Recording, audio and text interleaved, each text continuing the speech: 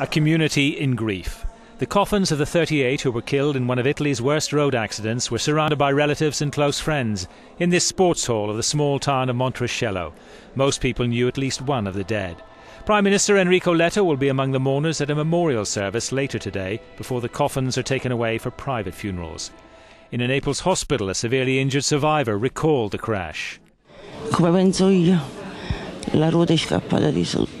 Well, I think that one of the wheels just went, and then suddenly there were sparks and flames inside.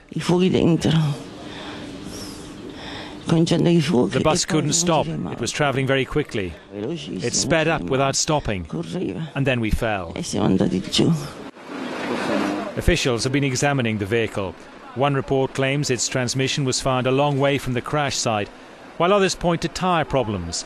An autopsy has been ordered on the dead driver's body. Questions are also being asked as to why the flyover safety barriers failed to prevent the tragedy.